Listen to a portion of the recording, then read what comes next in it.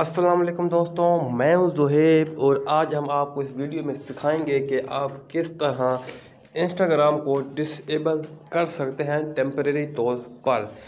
तो इस वीडियो को एंड तक लाजमी वॉच कीजिए। अभी तक हमारे चैनल को सब्सक्राइब नहीं किया तो हमारे चैनल को सब्सक्राइब कर दें और वीडियो को लाइक भी कर दें। तो सबसे पहले आपने अपने क्राउन ब्राउज़र को ओपन करना है। क्राउन ब्राउज़र को ओपन करने के बाद यहाँ पर आपने सर्च करना है W W Instagram dot com ये आपने यहाँ पर सर्च करना है।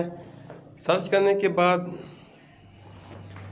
आपके सामने कुछ इस तरह का इंटरफेस देखने को मिलेगा। आपकी जो अकाउंट होगा इंस्टाग्राम का, वो आ जाएगा यहाँ पर। अगर आपने लॉगिन किया होगा तो आपके लॉगिन वाला आ जाएगा। अगर आपने लॉगिन नहीं किया होगा तो बगैर लॉगिन वाला आ जाएगा। तो सिंपली आपने अपने यूज़र नेम से और पासवर्ड से यहाँ पर लॉगिन कर लेना है।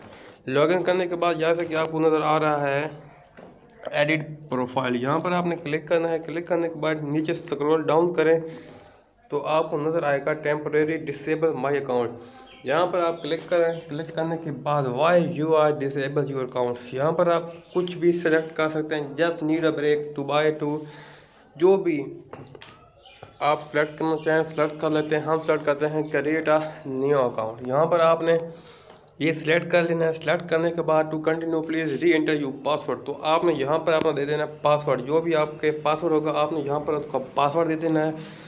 पासवर्ड देने के बाद यहाँ पर आपने क्लिक कर देना है टेम्परेरी डिसेबल अकाउंट यहाँ पर आप क्लिक करेंगे तो आपको जो अकाउंट होगा वो टेम्परेरी तौर पर डिसेबल हो जाएगा, यानी डीएक्टिवेट हो जाएगा। अगर आप इसको फिर एक्टिवेट करना चाहते हैं तो सिंपली आपने अपनी इंस्टाग्राम एप्लीकेशन को ओपन करना है। ओपन करने के बाद ओपन करना है। ओपन करने के बाद उसमें अपना यूज़र नेम और पासवर्ड दर्ज करना है तो आपकी जो आईडी होगी वो फिर से एक्टिवेट हो जाएगी। इस तरह आप यहाँ से डीएक्टिवेट कर सकते हैं डिसेबल कर सकते हैं और फिर वहाँ से उसको कुछ दिनों के बाद जैसे आपका दिल करे, आप उसको दोबारा भी एक्टिवेट करवा सकते हैं।